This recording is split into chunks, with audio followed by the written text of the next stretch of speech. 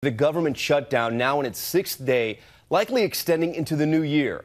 The Senate meeting for just minutes today. President Trump returning from his surprise trip to Iraq, immediately jumping back into the battle over the border wall. The president and Democrats unwilling to budge, the standoff taking its toll on hundreds of thousands of federal workers wondering when their next paycheck will come. ABC senior congressional correspondent Mary Bruce is back on the Hill.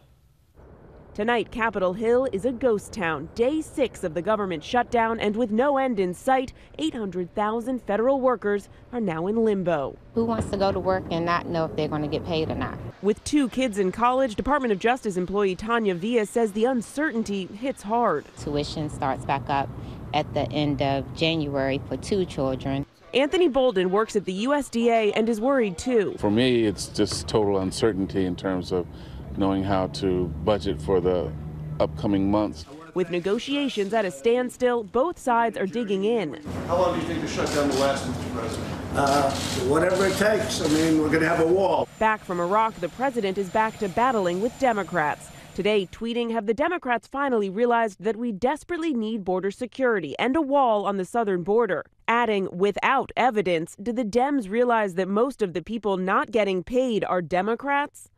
The president is insisting on billions to fund his border wall, blaming the shutdown on, quote, Democrat obstruction. They all know you need the wall or whatever you want to call it, but the one who's calling the shots is Nancy Pelosi.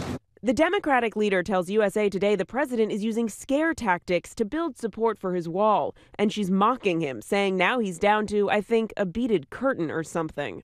Pelosi is standing firm, promising to fund the government, but not the wall when Democrats take control of the House next week. So, no end in sight, at least for right now. Mary Bruce joins us live from Capitol Hill. And, Mary, it's looking like we won't see any progress towards a deal until at least next year. Yeah, Tom, it is all quiet here on the Hill right now, and there are no more votes scheduled for this week. Now, once Democrats take control of the House, they're going to act quickly to try and put the pressure on the president by passing that legislation to fund the government, but not his wall. But, Tom, right now, this is a true stalemate, and neither side is budging. Tom? Mary Bruce on day six of the shutdown. Mary, thank you. Hi, everyone. George Stephanopoulos here. Thanks for checking out the ABC News YouTube channel. If you'd like to get more videos, show highlights, and watch live event coverage, click on the right over here to subscribe to our channel. And don't forget to download the ABC News app for breaking news alerts. Thanks for watching.